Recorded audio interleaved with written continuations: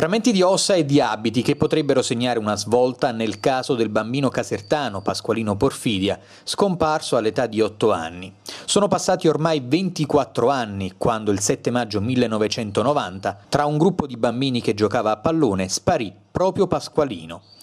Oggi, su istanza del PM Alessandro Di Vico, il GIP di Santa Maria Capoavetere ha riaperto l'indagine. Brandelli di vestiti e frammenti ossei, l'ispezione è stata stabilita con un decreto del capo della procura Currado Lembo. Gli investigatori sono cauti, non si può ancora parlare di ritrovamento e di soluzione del giallo.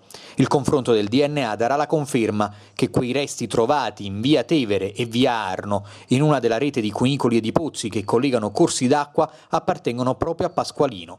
Oppure si dovrà ricominciare da capo, con una ricerca sulla quale soprattutto i genitori di Pasqualino non hanno mai messo la parola fine.